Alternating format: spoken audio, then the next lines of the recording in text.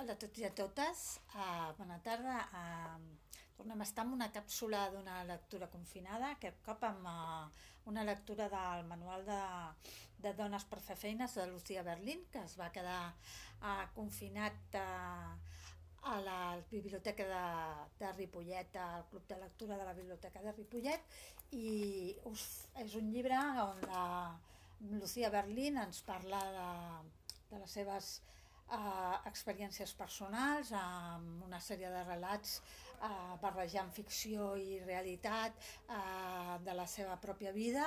Eh, ens parla del dol, ens parla de les relacions familiars, dels seus fills, de l'amor, de l'alcoholisme, eh, dels maltractaments, de, de molts altres temes, des d'un punt de vista psicològic, eh, com a escriptora, també com a, a introspecció personal, eh, molt, molt, molt interessant, eh, que em sembla que, que val molt la pena, eh, un llibre que val la pena tenir molt en compte. Us llegiré un trosset del capítol que es diu, del relat que es diu Panteó de Dolores. Ni repòs celestial ni vall serena. El cementiri del bosc de Chapultepec es diu Panteó de Dolores.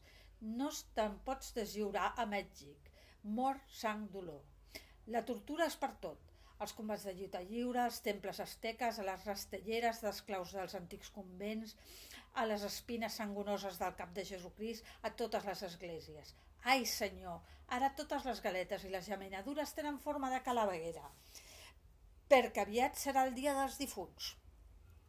És el dia que es va morir la mama, a Califòrnia. La Sally, la meva germana, era aquí, a Ciutat de Mèxic, on viu. Ella i les seves filles van fer una ofrenda per la nostra mare. Fer ofrendes és divertit, ofrendes als difunts. Les fas tan boniques com pots, com cascades resplendents amb calèndules i velluts, unes flors que semblen cervells, unes quantes sempieternes liles petitones. I aquí la idea principal pel que fa a l'amor és convertir-la en la cosa més bonica i festiva.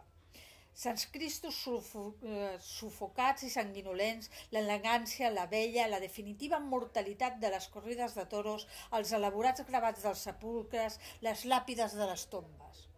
En les ofrendes hi ha i diposites tot el que els difunts podrien desitjar, tabac, fotos de famílies, mangos, bitllets de loteria, tequila, postals de Roma, espases, espelmes i cafè, calaveres amb tots els noms dels amics escrits, esquelets de caramel per menjar.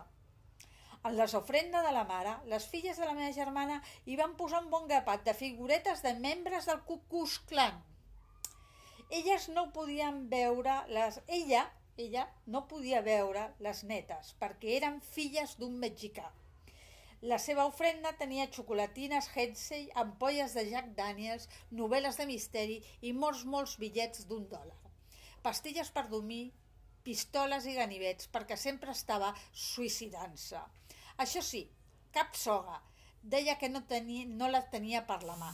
Ara sóc a Mèxic. Aquest any van fer l'ofrenda preciosa per la Sally, la meva germana, que s'està morint de càncer.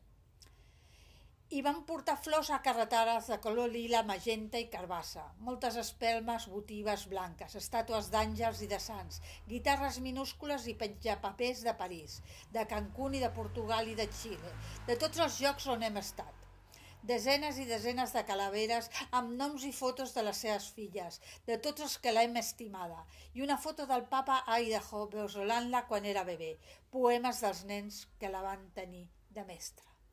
I com veieu, aquí es parla de l'amor i del dol, però també amb amor. Ah, Lucía Berlín, una lectura que no us podeu perdre, d'aquelles imperdibles. I fins aquí la nostra lectura confinada.